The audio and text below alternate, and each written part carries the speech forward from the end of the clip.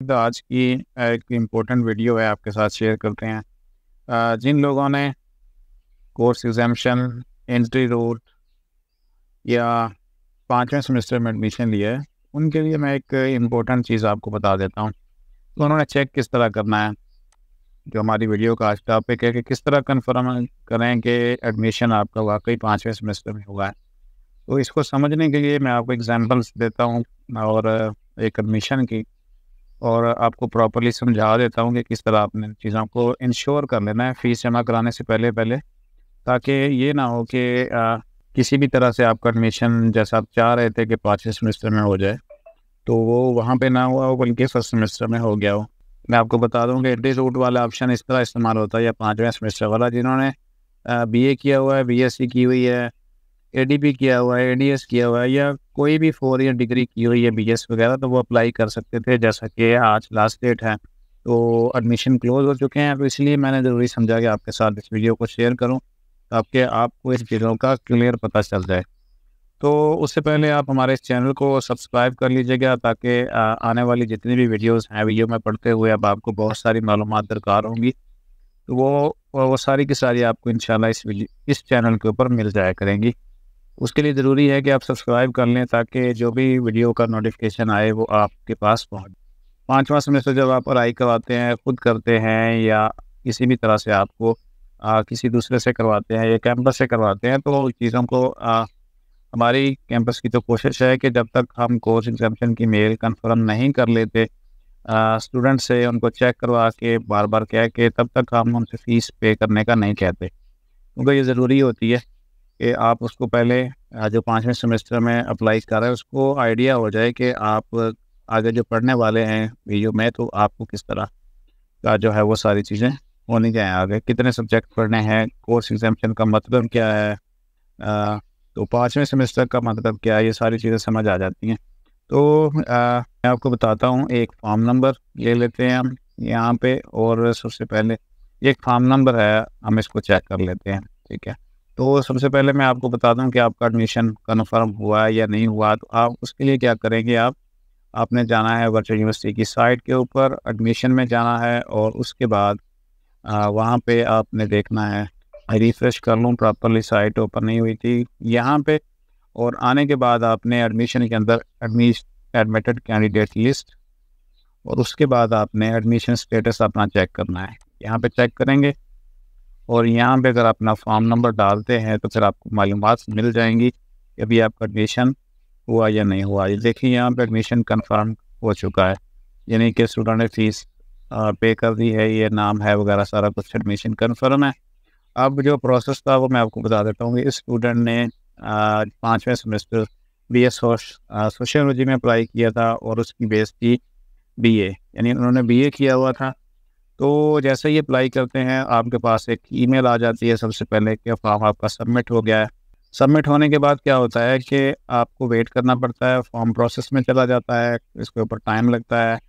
तो जो आपको मेल आती है ना यूनिवर्सिटी की तरफ़ से कोर्स एग्जामेशन की तो सबसे पहली मेल अगर कोई आपका एग्जामेशन ऑब्जेक्शन लगा है किसी भी तरह का, वो आप इस मेल को देखें यहाँ पे, ठीक है। सब्जेक्ट है कोर्स एग्जामेशन आप क्रेडिट आवर्स सईदुर रहमान फला फला ये लिखा हुआ है। और ग्रेडिंग तो यहाँ पे एक ऑब्जेक्शन लगा था स्टूडेंट को। जितने भी पाँचवें सेमेस्टर में अप्लाई करते हैं तो अगर किसी का कोई ऑब्जेक्शन है फाइनल मेल आने से पहले पहले तो वो इस तरह आ जाता है। ठीक है, यहाँ पर उन्होंने कहा था कि बीए का पार्ट वन और part two single file PDF में अपलोड करें।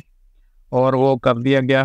ठीक है तो करने के बाद फिर क्या हुआ कि ये दो दफ़ा उन्होंने रिमाइंडर भेजा था। यानी कि पाँचवें सेमेस्टर में अप्लाई करते हुए कोई भी आपको ऑब्जेक्शन आता तो यूनिवर्सिटी प्रॉपरली इसी इसी शेप में मैं सिर्फ़ आपको बता रहा हूँ कि हो सकता है कि आपने मेल चेक ही ना की हो या कोई भी मसला हो या भी आ, कोई आपका ऑब्जेक्शन निकल आए। क्योंकि आज जिन्होंने अप्लाई किया है हो सकता है कि कोई ना कोई प्रॉब्लम निकल आए तो क्या करना है? उन्होंने इसी तरह करना है कि अपनी ईमेल प्रॉपरली चेक करते रहना है।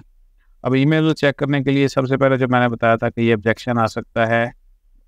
ऐसे लोगों का आता है ऑब्जेक्शन जिनका बीए या बीएससी पार्ट वन और पार्ट टू होता है यानी एक अलग अलग रिज़ल्ट कार्ड होता है उनका आ जाता है। तो अब ईमेल बाज़ अवत हम स्टूडेंट को कहते हैं कि आप अपना इनबॉक्स चेक करें तो उनको इनबॉक्स का तो पता होता है कि इनबॉक्स ये ठीक है जैसे सामने ईमेल आई है चेक कर ली।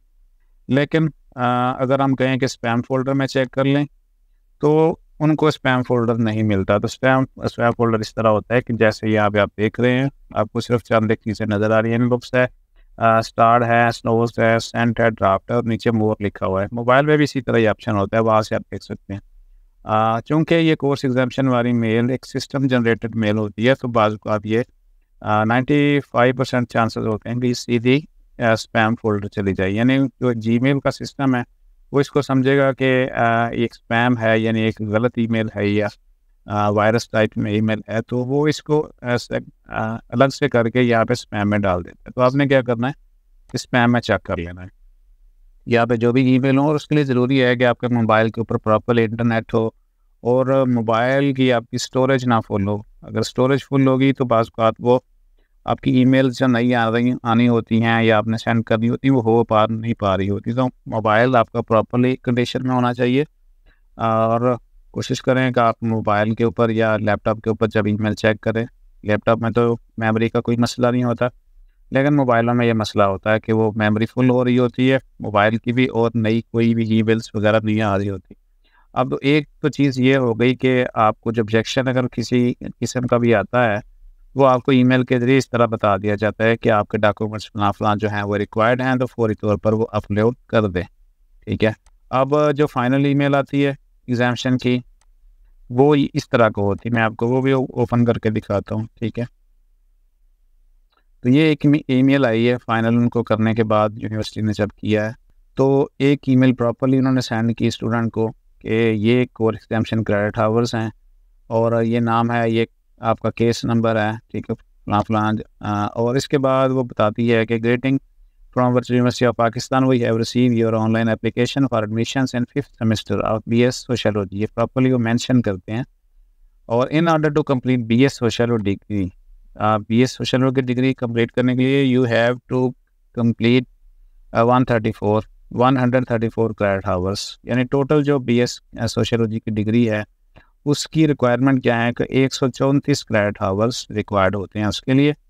और economics committee has evaluated your admission application यानी कि आपके जो B A base application send की गई थी, उसको वैल्यूट किया है और फिर उन्होंने फैसला किया based on the subject courses you have already studied and B A जो आपने बी ए में सब्जेक्ट पढ़े थे, उसकी बेस के ऊपर the economics committee has propose exams examination of following subject उन्होंने उस बेस पे बी ए बी एस पे जो सब्जेक्ट पढ़े गए हैं, और ये आपके मुख्तलिफ़ हो सकते हैं। मैं जस्ट आज आपको सिर्फ़ एग्ज़ाम्पल दे रहा हूँ, ठीक है, कि आपने इस तरह चीज़ें अपनी कन्फर्म करनी है।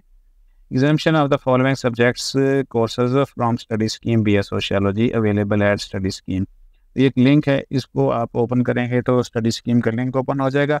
वो कहते हैं कि उस बेस के ऊपर बीए की बेस के ऊपर जो एप्लीकेशन आपने सबमिट की है, उसकी बेस के ऊपर हमने इस स्टडी स्कीम में बी ए सोशोलॉजी में, ये जो फॉलोइंग है नीचे टेबल वाले, ये सब्जेक्ट हमने एग्ज़ाम कर दिए हैं। एग्ज़ाम का मतलब है कि ये माइनस कर दिए हैं, ये आपको नहीं पढ़ने पड़ेंगे बी ए सोशोलॉजी करते हुए। तो ये वहाँ पे किस तरह शो होंगे, वो भी मैं आपको दिखा देता हूँ।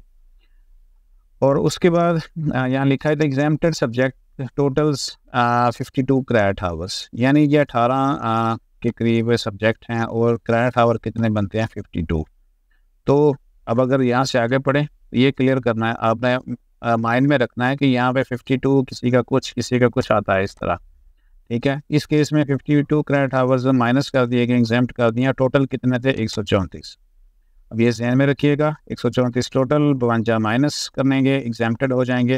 देयरफॉर रिक्वायर्ड कंप्लीट मैंने एटी टू क्रेडिट आवर्स अब एटी टू क्रेडिट आवर्स इनको मज़ीद पढ़ने हैं, अपनी बीएस की डिग्री कंप्लीट करते हुए। तो बहुत सारे स्टूडेंट ये समझते हैं कि क्या हमने ये सब्जेक्ट पढ़ने, ये पढ़ने नहीं हैं, ये एग्ज़ाम हो चुके हैं माइनस हो चुके हैं, ये आपकी उस स्टडी में जो आप कर रहे हैं, चाहे कोई भी डिग्री है, किसी भी तरह की तो उसमें से ये जो टेबल की शेप में सब्जेक्ट होते हैं, ये एग्ज़ाम हो चुके होते हैं। ये माइनस हो जाते हैं और फिर उसके बाद जो पढ़ने हैं वो आपको फिर जब आप दाखिला ले लेते हैं या आप इस स्टडी स्कीम को चेक कर लें जाके सोशोलॉजी की, उसमें से आप देख लें कि C S one zero one minus हो गया एक फोर ज़ीरो वन माइनस हो गया English one zero one two zero one E T S two zero two इस तरह के सब्जेक्ट वो माइनस हो गए तो बाकी आप फिर उसको मैच कर सकते हैं, ये कि ये बाकी जो होंगे वो आपको पढ़ने पड़ेंगे।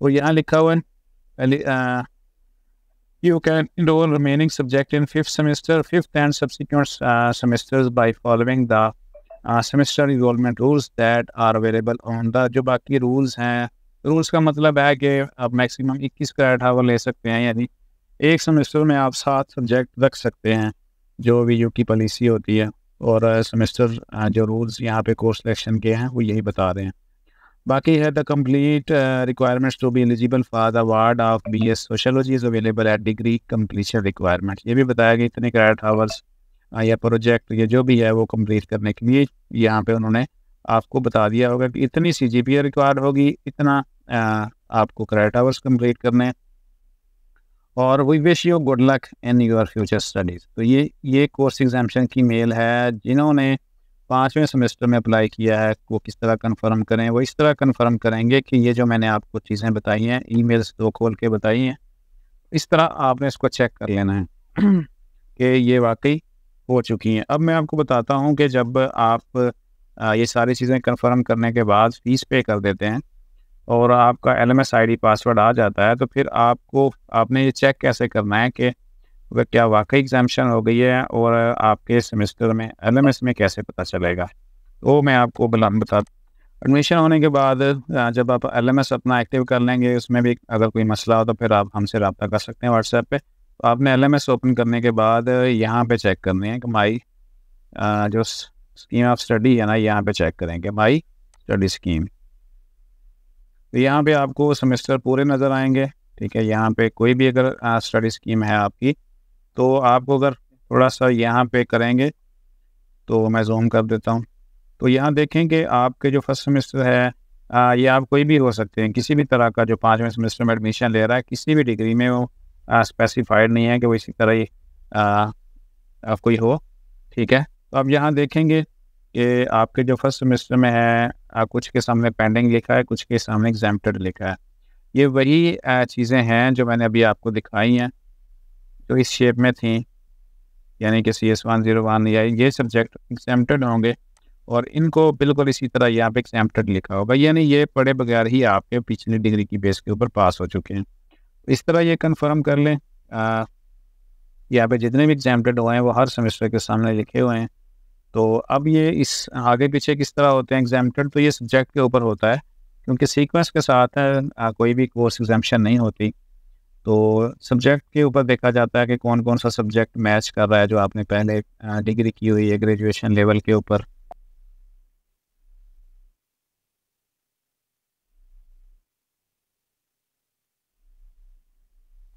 ये होता है, सारा कुछ।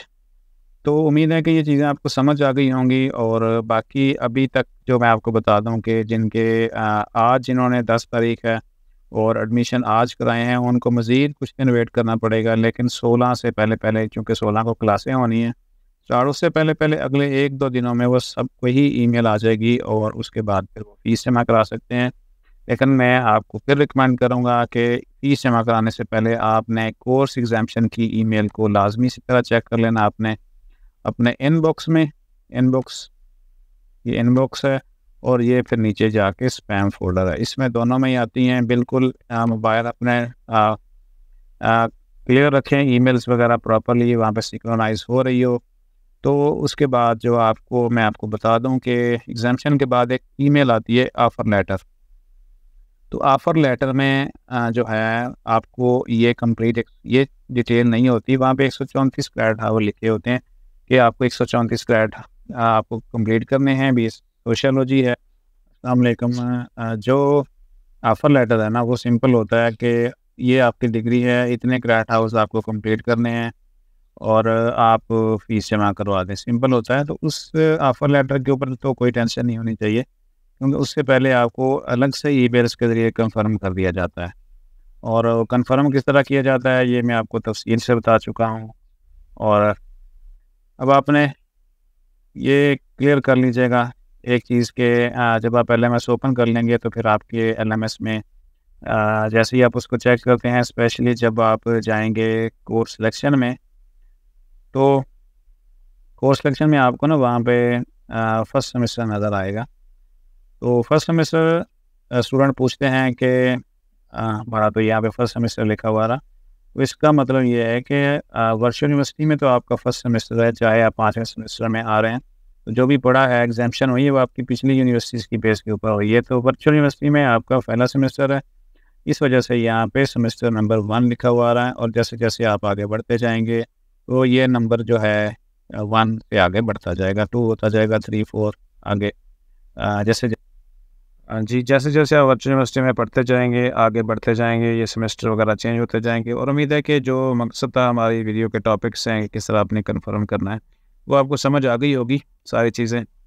तो अब जो ये वन सेमेस्टर लिखा हुआ है, चूँकि वर्चुअल में अभी पहला सेमेस्टर है, इस वजह से वन है।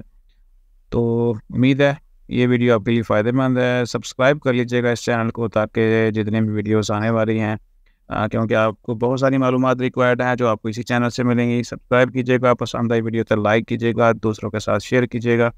वीडियो खान पर आपका अपना चैनल और इन मिलते हैं नेक्स्ट वीडियो में।